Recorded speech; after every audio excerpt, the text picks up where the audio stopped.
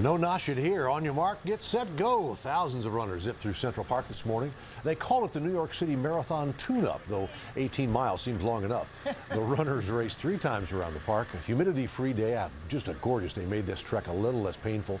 The New York City Marathon, November 2nd. If you're keeping track, that's just 70 days away.